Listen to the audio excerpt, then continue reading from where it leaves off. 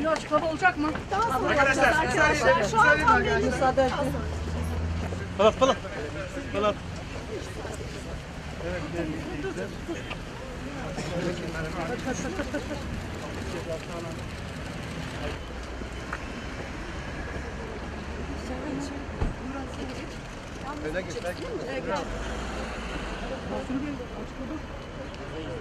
Çocuğuyla birlikte cezaevine girecek.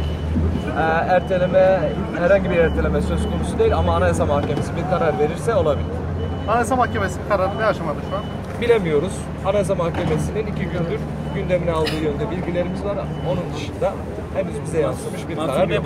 Türkiye'de zaten iki yıldır, neredeyse iki yıldır ne hukukun üstünlüğü, ne demokrasi, ne insan hakları, ne yargının bağımsızlığı kalmış değil.